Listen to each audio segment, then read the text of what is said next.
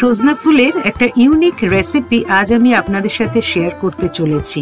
সজনা ফুল আমরা অনেক রকম ভাবে রান্না করে থাকি, তবে তার মধ্যে যেটা আমার সব থেকে ফেভারিট আজকে আমি সেটাই শেয়ার করছি। আশা করি আপনাদেরও ভালো লাগবে। Hello viewers welcome back to our channel cooking by Abul Tabul আমি সুদেশনা, আমাদের আজকের রেসিপি সজনে ফুলের ভাপা। সজনে ফুলগুলো খুব ভালো করে বেছে নিয়ে ধুয়ে নিতে হবে। এবার ধোয়া হয়ে গেলে কিছুটা জলের মধ্যে অল্প একটু সল্ট অ্যাড করে মিনিট পাঁচেক এটা ভিজিয়ে রাখতে হবে যাতে একটা তেতো ভাব থাকে সেটা চলে যায়। এছাড়া পাঁচটা বড়ি নিয়েছি, বড়িগুলো বিউলির ডালের। কিছুটা সল্ট চার পাঁচটা কাঁচা লঙ্কা। যেহেতু এটা ভাপা হবে, তাই এটার জন্য কিন্তু সর্ষের তেলই লাগবে। দুরকম সর্ষে নিয়েছি, যেগুলো নুন আর লঙ্কা দিয়ে বেটে নেব। এছাড়া একটা বড় আলু, ছোট ছোট টুকরো করে কেটে নিয়েছি। এবার গ্যাস অন করে একটা কড়াইতে দেড় কাপ মতো জল নিলাম। অল্প একটু সল্ট অ্যাড করছি। ছোট করে কেটে রাখা আলুগুলো এবার এর মধ্যে দিয়ে দিলাম। সল্ট অ্যাড করা এই জলের মধ্যে আলুগুলো একটু নাড়াচাড়া করে নিলাম। কড়াইটা এবার ঢাকা দিয়ে তিন চার মিনিট লো ফ্লেমে রাখব। এই তিন চার মিনিটে আলুগুলো সামান্য একটু সফট হয়ে গেছে, এবার সজনে ফুলটা দিয়ে দিচ্ছি।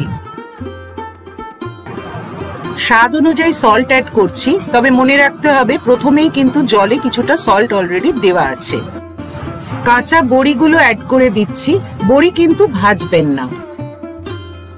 চেরা কাঁচা লঙ্কাগুলো দিয়ে দিলাম। এবার উপর থেকে সর্ষের তেলটা ছড়িয়ে দিচ্ছি। খুব সামান্য একটু হলুদ গুঁড়ো দিচ্ছি। হলুদের গন্ধ যেন বেশি না হয়, সেটা খেয়াল রাখতে হবে। আপনাদের অনেকেরই হয়তো মনে হতে পারে যে কাঁচা বড়ি ইউজ করছি রান্নায়, কীরকম খেতে লাগবে। কিন্তু একবার এই রান্নাটা করে দেখবেন, বড়িগুলো ভাপানোর পর যখন সফট হয়ে যাবে, আর বিউলির ডালের বড়ি তো খেতে কিন্তু খুবই ভালো লাগবে। সবকিছু ভালো করে মিশিয়ে নিয়ে একটু জল অ্যাড করলাম। এবার ঢাকা দিয়ে লো ফ্লেমে মিনিট পাঁচেক রান্নাটা করতে হবে। ঢাকাটা খুলে এবার দেখা যাক। আলুর টুকরোগুলো আগেই কিছুটা নরম হয়েছিল। এখন দেখতে পাচ্ছি বড়িগুলো আর সজনে ফুল দুটোই কিন্তু অনেকটা সফট হয়ে গেছে। এবার এর মধ্যে সর্ষে বাটাটা দিয়ে দিচ্ছি। যে কোনো রান্নায় সর্ষে বাটা যখন আমি ইউজ করি, তখন সেটা কীভাবে করি, সেটা কিন্তু আমি আগের ভিডিওতেই দেখিয়েছি বাটা মাছ রান্না করার সময়। নুন আর কাঁচা লঙ্কা দিয়ে সর্ষে বেটে নিয়ে সেটা আমি ছাঁকনির সাহায্যে ছেঁকে নিই। তারপর সেটা আমি রান্নায় ব্যবহার করি। ওয়ান টিস্পুন চিনি দিয়ে দিলাম। নুন, চিনি ও ঝাল অবশ্যই রান্নায় যে যার স্বাদ মতো ব্যবহার করবেন। আরও কিছুটা সর্ষের তেল ওপর থেকে ছড়িয়ে দিচ্ছি। সারা বছরে সজনে ফুল শুধুমাত্র এই সময়ই পাওয়া যায়।